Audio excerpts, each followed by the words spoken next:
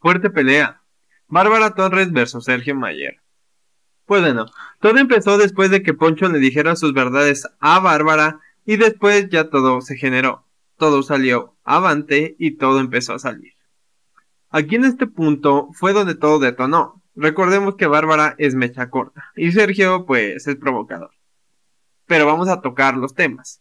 Sergio llegó y le dijo, ya, hagas lo que hagas, ya estás empinada. No vengas con tu hipocresía con tus personajes falsos. No vengas a decir que eres la buena.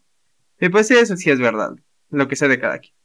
Después de eso, surgieron diferentes momentos, en el cual Bárbara dijo, la neta tú nunca vas a llegar a ser tan buena actora como yo. ¡Auch! Y dijo Sergio, pues la neta a mí no me interesa tu opinión. Y al final de cuentas, yo no me mantengo de eso. ¡Wow! Pero aquí va algo. Y los dos se dijeron sus verdades. Porque Bárbara le dijo, tú maltratas a Wendy, le dices que nunca va a ganar la casa. Y esos son como comentarios, perdón, que no se tienen que exponer aquí dentro de la casa. Ahí fue donde están diciéndose las verdades. Todo lo que le dijo Sergio a Bárbara, pues tiene razón. No digo que esté bien, pero tienes razón. Todo lo que le dijo Bárbara a Sergio también tiene razón. Que ya muchos se vayan por su favorito y que Bárbara no tenga tanto apoyo, pues también no quita que le dijo sus verdades a Sergio.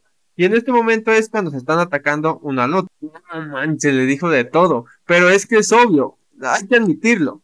Le dijo que era, pues, un chico malo que trata más a, a Wendy, que le dice cosas, que es una mente cerrada. Sí, la verdad, sí, hay que admitirlo. Pero eso no quita que tenga más apoyo Sergio.